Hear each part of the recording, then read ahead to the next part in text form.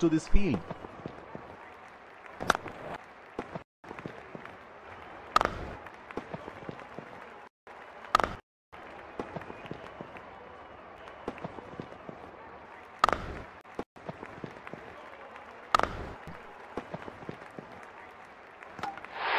Inside edge and ball.